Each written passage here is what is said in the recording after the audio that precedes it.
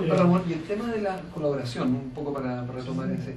¿Cómo, ¿Cómo, uno puede visualizar el trabajo de colaboración entre los alumnos?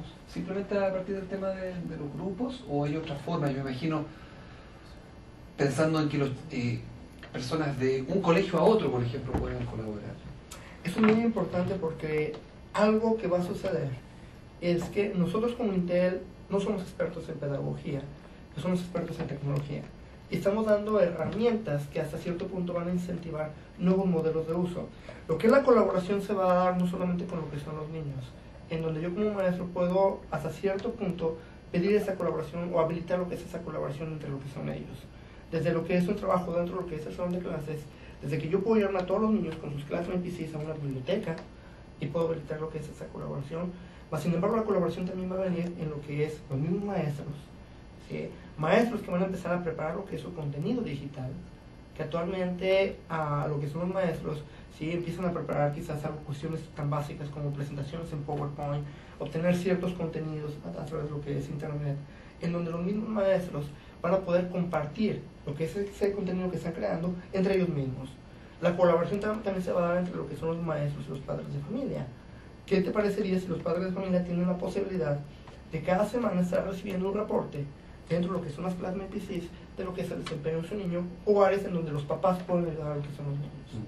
Entonces, eh, hay diferentes modelos de uso eh, que hasta cierto punto van a habilitar tener una mayor colaboración, no solamente entre lo que son los niños, sino dentro de lo que es todo el ámbito de lo que es educación. ¿sí? Y lógicamente, al ser un nuevo modelo de uso, aquí hay que dejar volar un poquito la imaginación e implementar esos nuevos modelos, nuevos conceptos en la educación. ¿Y eso significa que haber un classmate para el profesor que es distinto al del alumno? No. Aquí el modelo de uso que estamos nosotros a, hasta cierto punto implementando es que el profesor va a tener la posibilidad de tener una en su laptop, digamos. Un laptop, puede ser un desktop convencional, ¿sí? y los niños van a tener lo que es una clase medicina. Perfecto. Hay muchas razones de fondo, pero el principal es que desde el diseño ergonómico está totalmente hecho para niños. Si tú tratas de estar tecleando aquí por un promedio de dos horas, va a ser muy difícil. En primer lugar. Segundo lugar, si tú como maestro quieres tener contenido, videos, imágenes, etcétera, dentro de una clase de porque no, tiene la capacidad. ¿sí? Entonces, al, al maestro, usualmente, eh, la recomendación es que utilice una notebook normal o una desktop. ¿Y cómo yo voy a poder distribuir eh, video, por ejemplo, dentro de una sala de clase? Ah, perfecto, muy buena pregunta. Hay un software que es del profesor, que es totalmente gratuito para lo que es el profesor, que le permite hacer lo que es esa función. Voy a permitir abrir mi máquina para mostrarte lo que es el software, en donde el software le va a permitir hacer diferentes funciones desde identificar la lista de asistencia, porque desde que el niño abre lo que es su máquina, al niño le va a aparecer un mensaje aquí comentándole qué profesores están cerca de lo que es su alrededor. El niño va a poder seleccionar a qué profesor se quiere conectar él. ¿Sí? Una vez que se quiera conectar a ese profesor, la primera vez que yo como profesor voy a recibir ese mensaje del niño, hoy es, Juanito, María, Carlos se quieren conectar contigo. ¿Le permites que se conecten contigo? ¿Sí o no? ¿Sí? Una vez que están conectados conmigo, yo desde lo que es el software del profesor, que es muy, muy amigable, pensando que muchos profesores no han tenido la experiencia de utilizar equipos de cómputo, le va a permitir hacer varias funciones. ¿Sí? Desde no solamente eh, tomar control de lo que las máquinas, monitorear qué es lo que están haciendo, compartir lo que es material, ¿sí? sin embargo, de igual forma va a, va a haber algunas funciones un poco más avanzadas para aquellos profesores que conforme vayan integrando lo que es la tecnología en su vida diaria, bueno, tengan la posibilidad de hacer cuestiones más complejas. Entonces, tengo aquí lo que es eh, una desktop totalmente normal. Yo lo único que tengo que hacer es cargar lo que es un software de lo que es el profesor, que ahorita lo voy a iniciar.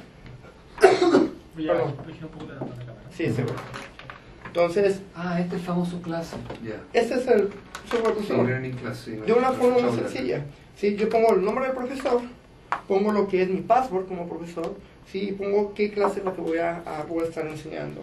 Le digo yo aceptar, le doy aquí un login, ¿sí?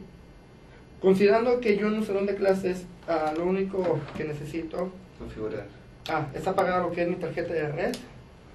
Tuve algunas juntas ahorita por ahorrar un poco de batería, apagué lo que es la tarjeta de red. Déjenme prenderla por aquí. Que de hecho, ¿qué es lo que yo necesito para habilitar una clase? Son las Class PCs, un Access Point, para habilitar lo que es esta comunicación. Y aquí prendí mi tarjeta de red y funcionó. Entonces, yo como profesor, por ejemplo, en algunas pruebas que he estado haciendo, de todo lo que son estas máquinas aparecen en negro. ¿sí? Aparecen en negro porque no tengo una Porque no están conectadas.